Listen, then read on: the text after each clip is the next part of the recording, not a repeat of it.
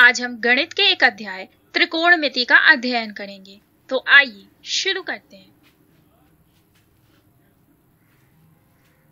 त्रिकोणमिति बिल्कुल ही आपके लिए एक नया अध्याय है। तो आज शुरुआत हम इसके परिचय से करेंगे, फिर हम त्रिकोणमितीय अनुपात पढ़ेंगे और पूरा कोण का त्रिकोणमितीय अनुपात कैसे निकालते हैं, हम ये देखेंगे।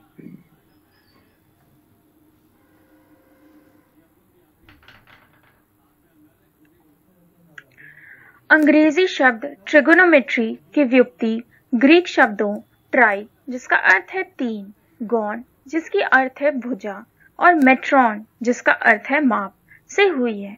त्रिकोणमिति में एक त्रिभुज की भुजाओं और कोणों के बीच अध्ययन किया जाता है। त्रिकोणमितीय अनुपात पढ़ने से पहले हमें एक त्रिभुज के बारे में जानकारी होनी चाहिए। यदि हम एक समकोण त्रिभुज ए बी सी लें जिसमें कोण बी है, वो समकोण है। और यदि हम कोण ए की तरफ़ से देखें तो कोण ए की विपरीत वाली भुजा BC को हम कोण ए की सम्मुख भुजा कहेंगे। AB को कोण ए की संलग्न भुजा कहेंगे, क्योंकि वह कोण ए का एक भाग है। AC जो है, उसे हम कर्ण कहते हैं। कर्ण किसी भी त्रिभुज की सबसे लंबी भुजा होती है। दोस्तों, कोण के बदलने से सम्मुख भुजा और संलग्न भुजा में परिवर्तन आता है। किंतु कर्ण किसी भी त्रिभुज का हमेशा वही रहता है। तो यहीं पर यदि हम कोण सी लेते हैं तो ए बी जो है वो सम्मुख भुजा हो जाएगी ए सी कर्ण भुजा हो जाएगी और बी सी संलग्न भुजा हो जाएगी। तो यदि आपको पहली बातें अच्छे से समझ आ गई हैं तो हम त्रिकोणमितीय अनुपात पढ़ने के लिए तैयार हैं। यहाँ पर हम जितने भी त्रिकोणमिति अनुपात की चर्चा करेंगे, वह कोण ए के लिए होगा। दोस्तों, कुल छह तरह के त्रिकोणमितीय अनुपात होते हैं। साइन ए जो कोण ए के सम्मुख भुजा, वह कर्ण का अनुपात होता है। यहाँ पर वह बीसी और एसी का अनुपात के बराबर है। दूसरा त्रिकोणमितीय अनुपात जो कॉस होता है, जो संलग्न भुजा, वह कर्ण का अनुपात होता है। तीसरा टैन जो सम्मुख भुजा व संलग्न भुजा का अनुपात होता है, जिसे हम इस प्रकार भी लिख सकते हैं। और इसलिए टैन जो होगा वह साइन और कॉस का अनुपात होगा। चौथा त्रिकोणमितीय अनुपात कोसेक होता है, जो साइन का व्युतक्रम होता है। पांचवा कॉट होता है, जो टैन का व्युतक्रम होता है। और छठा सेक जो कॉस का व्युतक्रम होता है। दोस्तों, साइन कॉस टैन जितने भी हैं, सब त्रिकोणमितीय अनुपात हैं। तो इनमें तब तक परिवर्तन नहीं आएगा जब तक त्रिभुज की लंबाइयों का अनुपात समान बना रहे। तो यहाँ पर हम दो त्रिभुज का अध्ययन करेंगे, त्रिभुज एपीएम और त्रिभुज एसीबी त्रिभुज एपीएम और त्रिभुज एसीबी समरूप हैं, जिसके कारण एएम और एबी का अनुपात एबी एपी और एसी के अनुपात के बराबर होगा। जो पीएम और बीसी के अनुपात के बराबर होगा। और इसलिए हम साइन कॉस टैन यदि समकोण त्रिभुज ए एम पी में लगाएँ और समकोण त्रिभुज ए बी सी में लगाएँ तो साइन कॉस टैन ये सारे त्रिकोणमितीय अनुपात इन दोनों त्रिभुज के लिए समान होंगे, क्योंकि इनके भुजाओं की जो अनुपात है वह समान है। दोस्तों, गौर करने वाली एक और बात है। कॉट ए जो है या फिर कोई भी त्रिकोणमितीय अनुपात, वह कभी भी उस त्रिकोणमितीय अनुपात और कोण का गुणफलन नहीं होता है। इसलिए हम कॉट ए को कॉट गुणा ए नहीं लिख सकते। और दूसरी गौर करने वाली बात यह है, यदि आपको याद हो तो हमने बताया था कि कोसेक ए जो होता है, वह साइन ए का व्युतक्रम होता है। तो उसे हम साइन की घात माइनस एक नहीं लिख सकते हैं। दोस्तों, इसका मतलब कुछ और होता है। जिसे आप अपनी अगली कक्षा में पढ़ेंगे। पाइथागोरस प्रमेय के अनुसार, कर्ण का वर्ग आधार एवं ऊंचाई के वर्ग के योग के बराबर होती है। यह प्रमेय अक्सर तब प्रयोग की जाती है, जब हमें एक समकोण त्रिभुज में कोई भुजा का माप ज्ञात नहीं होता है। यहाँ पर ए भी आधार है और बी सी ऊंचाई है और ए सी कर्ण है। एक त्रिकोणमिति अनुपात से सभी त्रिकोणमिति अनुपात का पता लगा सकते हैं।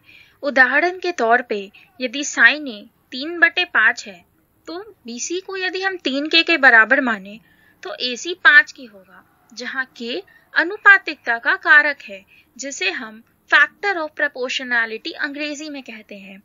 ए बी को हम पाइथागोरस प्रमेय से निकाल सकते हैं, जो चार के के बराबर आ जाएगा। तो हमें कॉस ए का पता लगाना है। तो दोस्तों कॉस ए जो होगा, वो ए बी बटे ए सी के बराबर होगा, जो कि चार बटे पाँच आ जाएगा। उसी प्रकार टैन ए का पता लगा लेंगे, जो बी सी बटे ए बी के बराबर होगा, जो तीन बटे चार आ जाएगा। दोस्तों, उसी प्रकार हमें कॉस स्क्वायर ए जोड़ साइन स्क्वायर ए का पता लगाना है तो यह सोलह बटे पच्चीस जोड़ नौ बटे पच्चीस, यानी एक के बराबर आ जाएगा। दोस्तों, यहाँ पे गौर करने वाली बात यह है कि कॉस स्क्वायर ए जोड़ साइन स्क्वायर ए हमेशा ही एक के बराबर होता है, जो आप अपनी आगे की कक्षा में पढ़ेंगे। आइए एक और उदाहरण लेते हैं। यदि tan ए एक के बराबर है तो हमें यह सत्यापित करना है कि two sine A cos A जो होगा, वह एक के बराबर होगा। दोस्तों, इस त्रिभुज में tan ए जो है वह BC बटे AB के बराबर होगा। तो BC को हम AB के बराबर मान सकते हैं, जो कि K के बराबर मान सकते हैं। AC जो है, वह K रूट टू के बराबर आ जाएगा। तो two sine A cos A जो है, वह हम निकाल सकते हैं, क्योंकि साइन ए इस त्रिभुज में बीसी बटे एसी के बराबर होगा और कॉस ए ए बी बटे एसी के बराबर होगा। तो इस प्रकार से two sine A cos A जो है, वह एक के बराबर आ जाएगा। तो दोस्तों, हमने यह सत्यापित कर दिया है। दोस्तों, यहाँ पर कुछ प्रमुख कोणों के त्रिकोणमितीय अनुपात के मान दिए हुए हैं, जिन्हें आपको याद रखना होगा। इनमें कुछ गौर करने वाली बातें हैं। जैसे, यदि हम कोण का मान बढ़ा रहे हैं तो जो साइन का मान है, वह भी बढ़ रहा है, परंतु कॉस का मान घट रहा है। यहाँ पर वही बातें दोहराई गई हैं। कोण में वृद्धि होने के साथ साइन का मान बढ़ रहा है और कोण में वृद्धि होने के साथ कॉस का मान घटता है। पर दोस्तों, साइन और कॉस दोनों त्रिकोणमितीय अनुपात का जो भी मान होगा, वह हमेशा माइनस एक से एक के बीच में ही होगा। यहाँ पर एक उदाहरण है, यदि साइन ए माइनस बी एक बटे दो के बराबर है और कॉस ए प्लस बी एक बटे दो के बराबर है, जहाँ ए प्लस बी जो है वो शून्य से नब्बे डिग्री के बीच में है तो हमें ए और बी ज्ञात करना है। तो यहाँ पर आपको त्रिकोणमितीय अनुपात का यदि मान याद हो तो साइन जो है वो एक बटे दो तीस डिग्री के लिए होता है तो ए माइनस बी तीस डिग्री के बराबर होगा, और उसी तरह से ए प्लस बी साठ डिग्री के बराबर होगा। तो इन दोनों को हल करने के बाद हमारा ए पैतालीस डिग्री और बी पंद्रह डिग्री आता है। यहाँ पर गौर करने वाली बात यह है कि sine A plus B sine A plus sine B के बराबर नहीं होता है। पूरक कोण।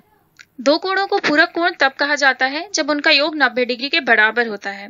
यदि हम त्रिभुज ए बी सी में देखें तो ए और सी एक दूसरे के पूरक कोण होंगे?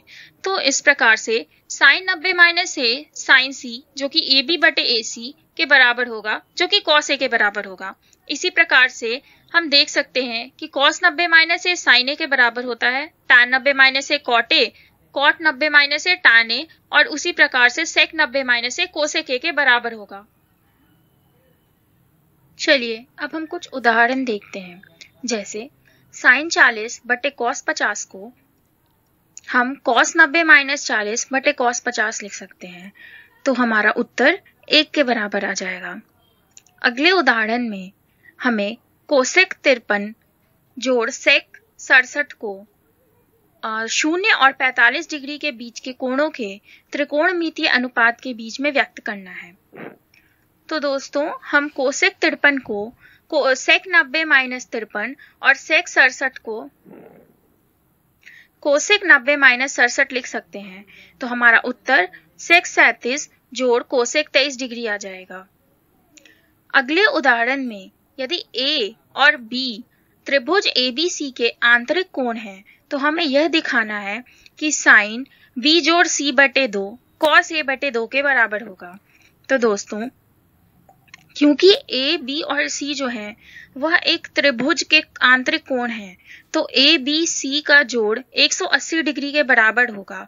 तो बी जोड़ सी को हम 180 माइनस एक डिग्री लिख सक ए डिग्री लिख सकते हैं।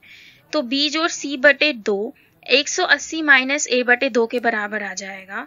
इससे साइन बी जोड़ सी बटे दो साइन 180 माइनस ए बटे दो के बराबर आ जाएगा। जिससे हमारा उत्तर साइन बी जोड़ सी बटे दो, कॉस ए बटे दो के बराबर आ जाएगा।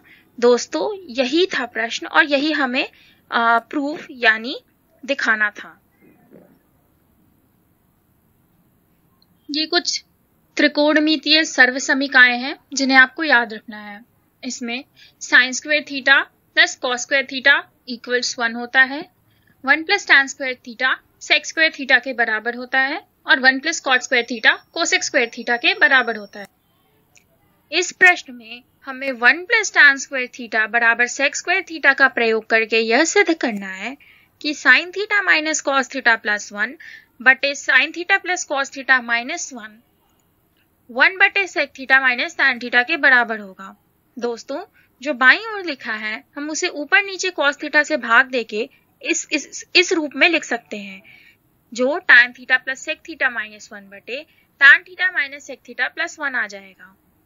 उसके बाद हम ऊपर और नीचे tan theta minus sec theta से गुणा कर सकते हैं, जिसके बाद हमें इस प्रकार का जो एक्सप्रेशन मिलेगा, जिसमें tan square minus sec square theta का टर्म आ जाएगा।